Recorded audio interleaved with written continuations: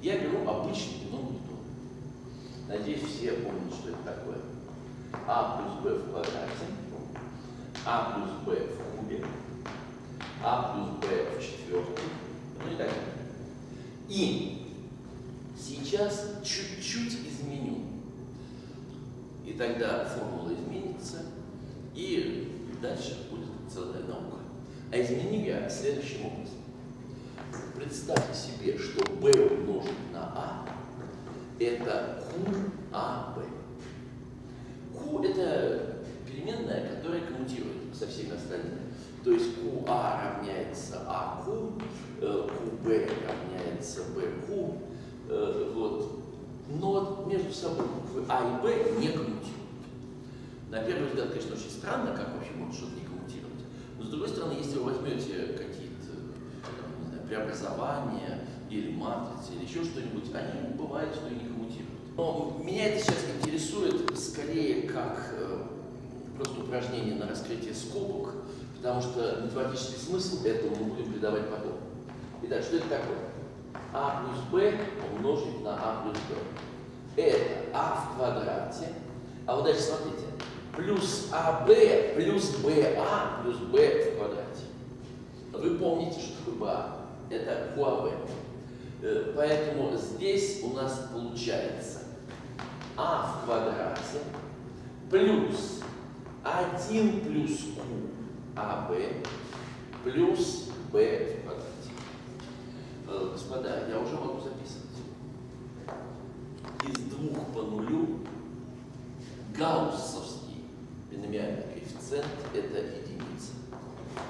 Из двух по единице гаусовский коэффициент – это 1 плюс q. Из двух по 2 – это тоже единица. Хорошо? Что такое а плюс b в кубе? Это вы должны умножать а плюс b на а плюс b на а плюс b и получаем такие результаты. А, А, А, А, А, Б, А, Б, А, Б, А, А, э, А, Б, Б, Б, А, Б, э, Б, Б, А и Б, Б, Б. Ну, что это означает? Смотрите, если есть у нас одна буква Б и две буквы А, число сочетаний э, гауссовское из трех по нулю – это единица. Из трех по единице – это вот смотрите, здесь буква Б меняется с А, множитель Q. Здесь меняется с А и потом еще множитель Q квадрат. Это будет 1 плюс Q плюс Q квадрат.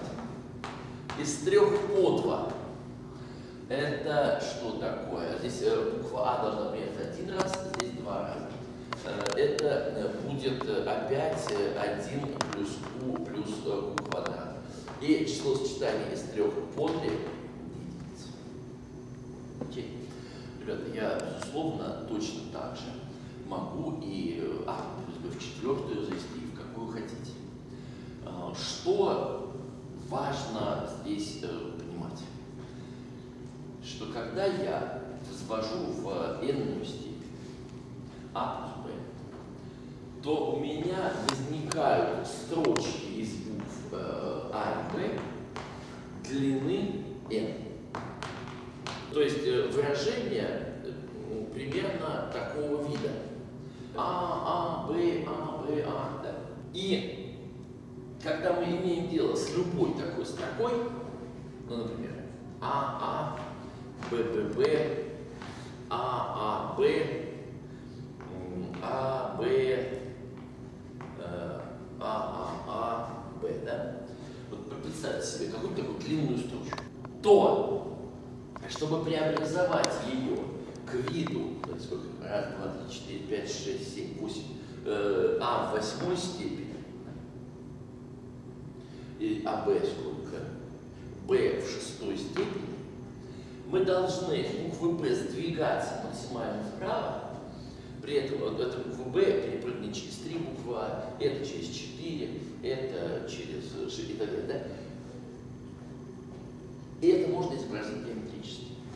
Давайте вот я прямо вот это вот длинное-длинное-длинное слово нарисую Я думаю, все абсолютно поймут, э, что же это у нас будет такое. Я рисую систему координат. И давайте договоримся, что буква А – это сдвиг на единицу вправо. Буква Б – это сдвиг на единицу э, вверх. Тогда что у нас получается? Смотрите, АА, потом БББ, Б, Б, Б. Потом АА, потом Б, А, Б. А, понятно, мы закончили. Вот э, по горизонтали мы сделали ровно 8 шагов. Раз, два, три, четыре, пять, шесть, семь, восемь. По вертикали мы сделали 6 шагов. И пришли вот в эту точку.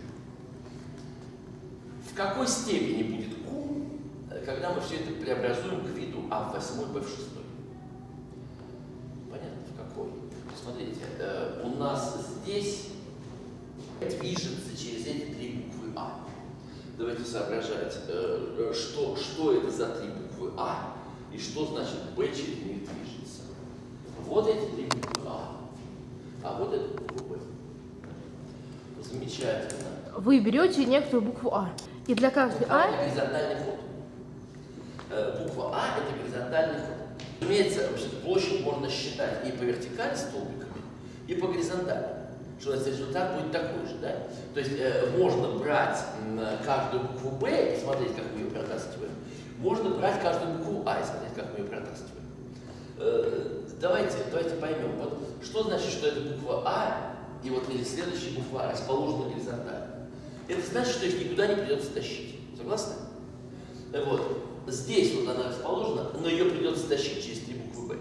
Это вот те самые три буквы Б, вот, вот эти. В общем, ребята, лучше са- сами посмотрите, поймите, что площадь вот этой фигуры, вы же посмотрите, клеточка посчитанная, да? Это в точности и есть степень букве Q. То есть. Вот, вот такие фигуры называются диаграммы. Их э, э, иногда рисуют, что называется, с этого угла, да. То, тут, как всегда, есть, э, что называется, английская школа, есть французская, да. То, вот, как я сейчас рисую, обычно называется французская школа, да. Вот если бы та же самая диаграмма была бы здесь, называлась бы английская. Но это, э, что называется, б- баловство, потому что понятно, что клеточкам все равно, смотрите вы с этой стороны или смотрите с этой стороны. Да, вот, э, важно, что количество клеточек, из которых состоит диаграмма это вот и есть та самая степень. Мы сейчас должны исследовать э, разные свойства этих самых чисел сочетаний э, и понять, что, что называется, вообще какое они имеют отношение к математике и так далее. Наверное, имеет смысл сначала посмотреть алгебраически. Э, Смотрите, если Q равно единице, то эта формула превращается просто в то, что B равно АБ. И поэтому вся наша наука, когда вместо Q подставить единицу, превращается в обычную комбинаторику бином Ньютона. Да? То есть в самую, что называется, самую-самую-самую простую. Теперь, значит, пусть Q не равно пусть Q это вот такая переменная. Давайте посмотрим на самые простые свойства. Скажем, понимаете ли вы, что число сочетаний из n по k это то же самое, что число сочетаний из n по n минус k? Ну, давайте подумаем. Почему? Потому что, что такое число сочетаний из n по k? У нас k букв b и n минус k букв а. Так? А здесь у нас наоборот. Правильно? Ну а кто нам мешает просто-напросто, что называется, перевернуть слово и читать его задом вперед? И у нас вот, вот равенство оно такое симметрично. Э, И мы все равно должны отделить эти буквы А э, одно от другой. Да, кстати, симметричность будет вам совсем понятна, если э, вы на этой картинке э, поймете, где у нас здесь К, а где минус К. Значит, господа, К это количество клеточек, да, здесь. N минус К это э, вот здесь. Ну, ну, совершенно понятно, э, что когда нас интересуют всевозможные пути, смотрите, что такое гауссово числосочетание из n по k? Вы начинаете в начале координат и движетесь в точку с координатами э, n минус k, k. Движетесь каждый раз по горизонтали на единицу или по вертикали на единицу.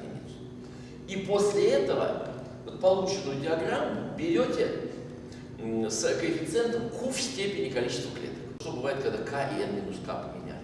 Вы просто-напросто такой прямоугольник заменили на прямоугольник симметричный относительно диагонали.